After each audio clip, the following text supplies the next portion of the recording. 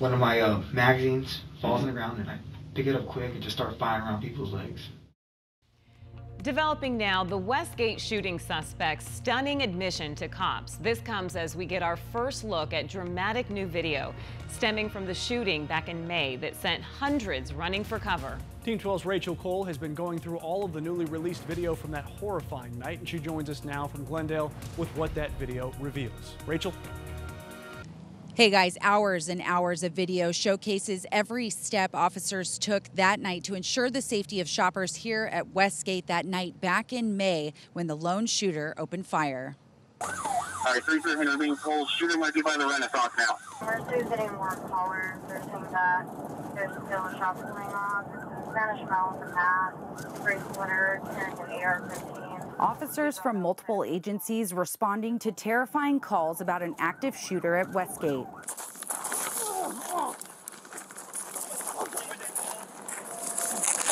Stop! Get back! Come back! Come back! Get back! Get back! Patrol officers wasting no time moving in as the suspect. What's your name? My name is Armando. Armando what? Armando Hernandez. Armando Hernandez, seen here, surrenders to police, but only after they say he fired rounds from this assault rifle into the crowd. And this guy was pointing blank at me, like this, and he was like, "Social madness, social madness." And I'm like, "Please don't shoot me, please, just please don't shoot me." Like I'm in a corner. But the shooter had already hit this distraught woman, describing the emotional moments to officers. I'm like, "You already got me." I'm like, "You-" and I was on this side. And I'm like, do you want me to show you where it got me? He was like, yeah. So I turned over, and I'm like, look, you already got me, dude.